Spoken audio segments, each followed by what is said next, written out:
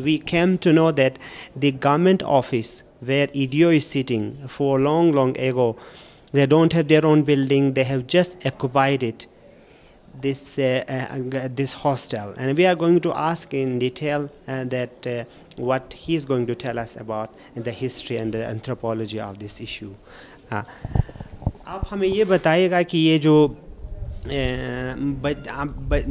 چترال میں بچوں کے لیے جو دور دور ایریا سے رہتے ہیں، وہ کون کون سے ایریا سے آتے ہیں؟ ان کے لیے کیا مسائل ہے رہنے بھائی، یہاں تو مسائل بہت زیادہ، خاص کر کے گورنمنٹ اسکولوں میں ہاسٹل کا۔ اور بد، بدقسمتی کی ایک طرف سے گورنمنٹ وہ کرنے کی کوشش کرتے ہیں، یہ سہولت دینے کی۔ لیکن دوسری طرف وہ ناقص ہوتے ہیں نا۔ آپ یہ لے لیں کہ ہمارے اسکول چترال میں اور سب سے مقصد یہ پرانا اسکول ہے اور بڑا ہے ٹیچر تقریباً پین اس میں آتے ہیں جی بوروغل سے لے کر یہ بوروغل کا بھی ایک بیٹا ہے ہمارے نائنتھ پہ وہ کچھ نالائق تھا وہ اس سال ڈیٹین ہوا ہے ابھی بھی پڑھتے ہیں۔ اور بمبریت رومبور بری سے یہاں لڑکے ہیں۔ اور مجبوری یہی ہے کہ یہاں کوئی رہنے کے وہ بچوں کے لیے تو اور مسئلہ ہے۔ ہاں اور مسئلہ ہے۔ تو وہ یہاں اس میں ہاسٹل اس کا نہیں ہے۔ جو ہمارا ہاسٹل تھا یہ سامنے ان پر ہمارے ایڈیو والوں نے قابض ہوئے ان پر۔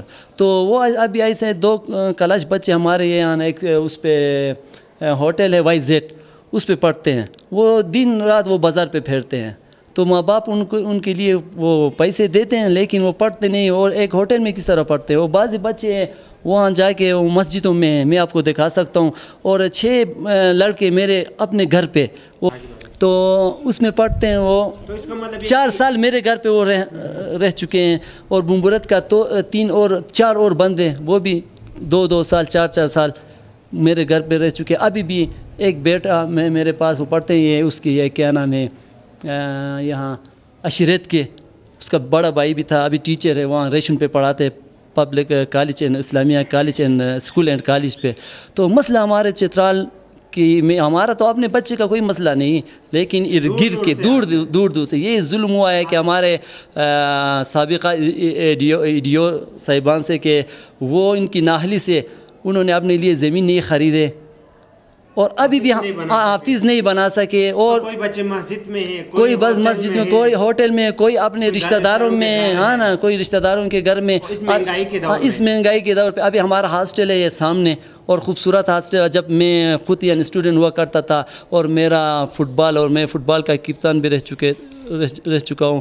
تو ہمارا وہ کیا نام ہے اسپورٹس روم بھی وہاں کرتے تھے۔ ابھی جس میں ایڈیو بیٹھا ہوا ہے وہ میرا اپنا وہ تھا کیا نام یہ اسپورٹس روم تھا۔ تو ابھی ایڈیو صاحب بیٹھا ہوا ہے۔ ابھی میں کہتا ہوں کہ یار، اس، اسی دور پہ، اسی اسکول کے اوپر، اسی چترالی بچوں کے اوپر یہ زیادتی ہو رہی ہے۔ آپ خدا کے لیے گورنمنٹ کو بھی میں ریکویسٹ کرتا ہوں کہ یار، ہمارا یہ جو ہاسٹل ہے، تو میرے، مجھے تو کچھ کی ضرورت نہیں ہے، میرے قوم کی ضرورت ہے۔ اور میرے بچوں کی ضرورت ہے۔ ہمارے یہاں بورڈنگ ہوگا، اس پہ بورڈنگ کیا نام، ہمارا یہ یہ ہمارا وہ جو کسی ذمہ وار بندے وہاں بیٹھیں گے تو وہ پڑھائی وہاں ہوگی، وہ بچے قابل بچے پیدا ہوں گے اور غریبوں کے لیے سہولت ہوگا۔ تو ابھی ہمارے اس میں اسکول پہ کوئی آتا نہیں، جو آتا ہے بہت کم، وہ بھی ہوٹلوں پہ۔ اگر یہ اسکول کا اگر امیج آپ بڑھانا چاہتے ہیں تو اس کو بنایا ہے، یہ کیا نام سینٹینیل لیکن اس میں ہے کچھ نہیں۔ ویسے نام کے بورڈ پہ لکھا ہوا ہے کہ یہ سینٹینیل لیکن کا کیا مطلب؟ سینٹینیل صدی کا وہ اسکول اس کا تو سو سال سے زیادہ ہوا ہے لیکن یہاں سبق جو ہمارا آپ وہ لمبر لے لیں پورا گیزٹ آپ اتنا وہ نہیں آتا ہے کیونکہ لڑکے لوگ اپنے بیٹوں کو وہاں دوسرے کوئی ہاسٹل ہوتے ہیں اس پہ وہ کرتے ہیں۔ حوالے سے آپ نے یہ جو آفس کے حوالے سے ابھی جو ایڈیو آفس نے بنایا اس کے حوالے سے آپ نے کئی بات کی آگے کئی کمیونٹی آگے آنا یہ پچھلے سال ہمارا میٹنگ ہوا تھا یہ ہمارا ایڈیو گلسمبر بہن سے۔ تو ہم ان کی اس پہ آگے کیونکہ اس کے ساتھ اس اس نے کہا کہ ہم لوگوں نے وہاں نہیں ہوا یہ اس میں ہم نے یہ بات اٹھائی۔ تو یہ ڈائریکٹر نے کہا کہ یہ تو اسکول کا وہ ہے۔ ایجوکیشن کا وہ جگہ ہے، تو ہم مجبوراً یہاں ہم شفٹ کریں گے یہاں ہم رہ رہ رہ سکتے۔ تو ہم نے یہ یہی گراؤنڈ جو اس گراؤنڈ کا ہم نے نام لیا کہ یہ دفتر وہاں ویسے وہ گراؤنڈ خراب ہوا ہے ہون والے جو آپ گئے ہوئے ہیں وہ لیپ کے۔ تو ہم لوگوں نے اس کو یہی اور ریماس دی کہ بھائی، مشورہ وہاں جائے وہاں یہ بنائی وہ بھی گورنمنٹ کا ہے۔ تو یہ اگر خالی ہوگا تو یہ چترال کی ضرورت ہے۔ ہماری ضرورت نہیں اسکول کی، لیکن چترال غریبوں کی ضرورت ہے۔ تو آپ مہربانی کر کے آپ افسر بالا تک یہ بات ہمارے پہنچا دیں کہ یار یہ ہمارے ہمارے لیے یہ خالی کر لے یہ اسکول کے ساتھ زیادتی ہو رہی ہے یہ غریبوں کے ساتھ زیادتی ہو رہی ہے۔ تو یار وجہ سے ریموٹ ایریا سے جو بچے آتے ہیں بچے آتے ہیں تعلیم حاصل نہیں کرتے۔ اسپیشلی بچیوں کو تو کہاں ہی رکھیں؟ بالکل یہ یہ جی یہ پبلک اسکول ہے۔ یہ چترال میں کتنے ہاسٹلس ہیں؟ یا ایک بھی نہیں کسی سکول کے ساتھ یہ چترال کے اندر ہے۔ ایک ایک یہی سکول ہے۔ وہ آپ کل گئے ہوئے تھے اس پہ یہ ہون پہ۔ ایک وہ ہے ایک یہاں ہمارا نزدیک یہ بلچ ہے۔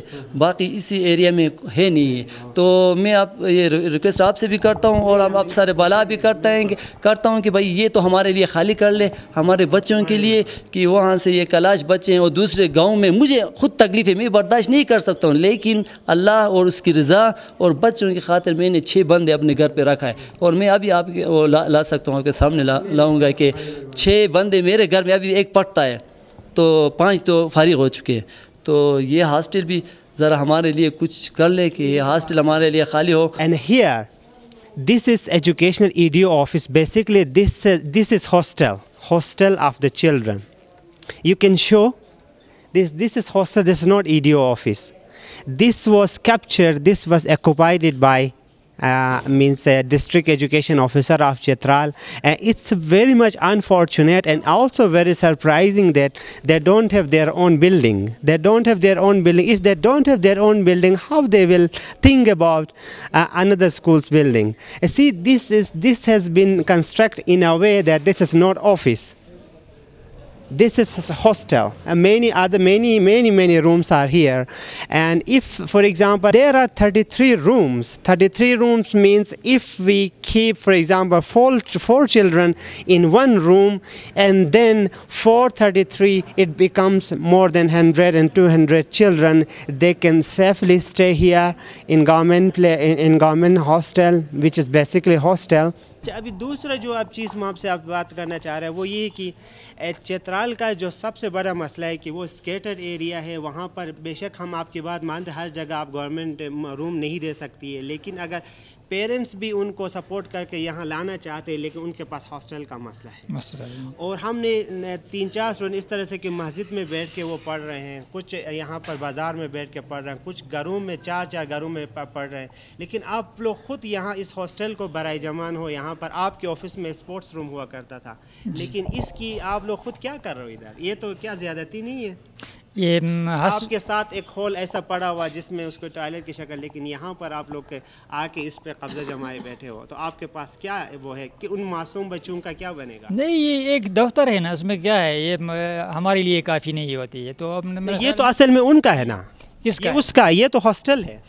تو پھر یہ دفتر ہم کہاں لے جائیں تو گے یہ ہاسٹل ہے تو یہ آپ کے دفتر ضروری ہے ٹھیک ہے ہاسٹل ضروری ہے؟ ٹھیک یہ ہاسٹل جو بن گیا تھا اس وقت چترال سٹی میں صرف ایک ہائی اسکول تھا جی اس وجہ سے دور دراز کے علاقے کے بچے یہاں آ کر ہاسٹلوں میں رہ کر تعلیم حاصل کرتے تھے۔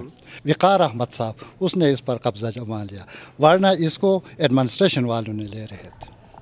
اچھا تو پھر اس کے بعد آپ نے قبضہ جمایا جی، پھر بچے بالکل۔ وہ نہیں ہیں۔ اگر ہمارے بچے ہیں۔ پرائیویٹ اسکول میں تعلیم حاصل کر سکتا ہے تو ہوٹل میں کیوں نہیں رہ سکتا؟